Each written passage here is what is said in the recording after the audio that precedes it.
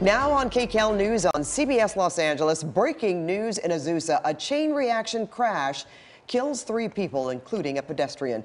Good evening, everyone. I'm Pat Harvey. And thanks for being here with us tonight. I'm Chauncey Glover. That crash involved two motorcycles and a car. And KCAL assignment editor Mike Rogers live at the desk now. Mike, you've just learned about that strange and quick series of events. Yeah, Pat and Chauncey, a really horrific crash here. This happened on Arrow Highway in Cerritos in the Azusa area. Now, what happened here, according to Azusa PD, is two motorcycles were riding at a high rate of speed, unclear if they knew each other or if there was racing involved, when they clipped the back of this car. Now, one of the riders died instantly. The second rider actually went airborne, landed, and while he was going airborne, so did his motorcycle and struck a pedestrian as it flew through the air.